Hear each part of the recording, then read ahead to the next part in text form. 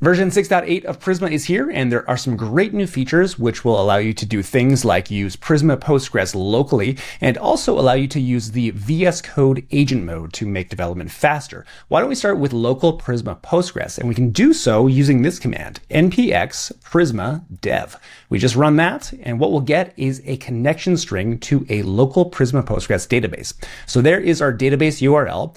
It is Prisma plus Postgres, so what we would see if we're connecting to the actual Prisma Postgres remote database, but we're going to localhost 51213 here. We've got our API key in just the same way we would have it with a remote Prisma Postgres database, but this allows us to do local dev, and then we can push up changes, do migrations against our remote database after operating locally. So why don't we copy this? Let's just get this string, and we'll put this into the .env file here. All right, so that's good to go. We don't yet have Prisma wired up, but we're going to do that. We're going to initialize Prisma, but let's leave this terminal window as is. We'll leave this running. This needs to be running in order for this database to be operational. All right, so in a new terminal window, let's do our typical npx prisma init. And now what we can do is go into our schema file and add some models here, and we'll try to get migrations running against that local Prisma Postgres database. All right, so let's have a model of user. Sure, that's fine. Let's have another model of post, and that looks good too. All right, so we have our database running. Again, it's running in this terminal. This is local Prisma Postgres using PG Lite, and we've got localhost here. That's all good. We have also got this in our environment file, so that's set to go. So now when we're over here and we run migrations, we should have everything in the schema put up against that database. So we'll do npx prisma migrate dev, and the name can be init. All right, great. So the migration has been applied. We've got our migrations directory there. Why don't we see if we can find this now in Prisma Studio? So let's go like this, npx Prisma Studio. So that should be wired up. Now over here, we have got our post model, our user model. No data in there just yet, but everything seems to be good against that migration that we just ran. All right, so next let's take a look at VS Code Agent Mode, which allows us to use the Copilot chat window in agent mode to be able to get things done with Prisma. So I'm in Cursor right now. This is my daily driver IDE, but let's switch over to VS Code. So here we've got the same project open in VS Code.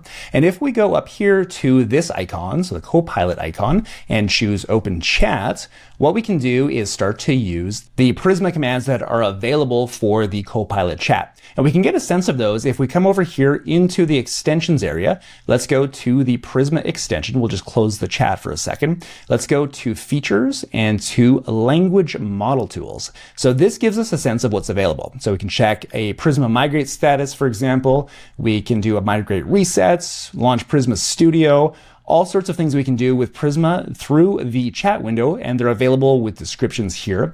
So let's try it out. Let's come up here again, open that chat window, and let's say something like, am I logged into the Prisma data platform?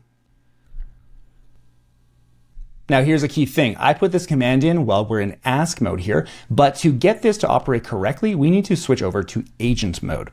So let's try that again. Am I logged into the Prisma data platform?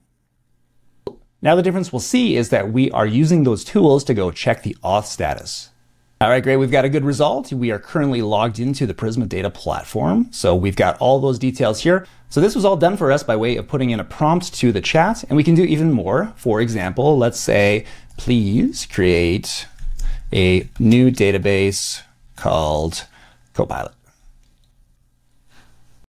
All right, looks like things are done. We've got a Prisma Postgres database called Copilot that has been successfully created. Why don't we check to see in the Prisma data platform if it's there? There we go. We've got our Copilot database. So everything is working and we got this database in place through the chat instead of going through the UI here in the Prisma data platform. There's a lot more we can do here with chats. So this ability here to use these tools through the VS Code Copilot chat should make it easier for development when we're building our databases, our models.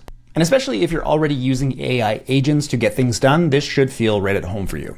So let's take a look at two more things. One is that we've now got the Singapore region available to us. So we can do a new project. And if you want to use the Singapore region instead of one of the others that we've got, we've got that now. So Singapore, let's just give our project a name, get started with Prisma Postgres. And now we can select a region and we have Asia Pacific, which is Singapore here. So we can choose that and use it if we like.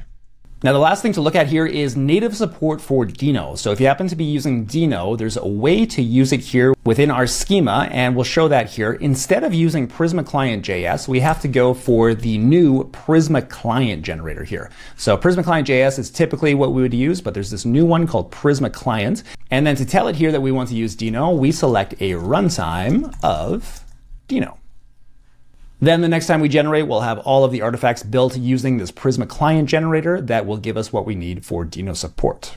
All right, so that's all to look at today for the updates in Prisma 6.8. Let us know how it goes when you're using local Prisma Postgres. Again, that's npx Prisma dev to get a local Prisma Postgres database. And also how it goes for you if you're using the VS Code Copilot extension. Feel free to drop a comment below, or you can reach out to us. We're on the web at prisma.io or x slash Twitter. We're at Prisma there. And we'd also love for you to join the community in Discord. We'll leave a link for that below. And if you enjoyed this video and want to get more Prisma updates and other content, we would love if you would hit subscribe. Thanks for watching.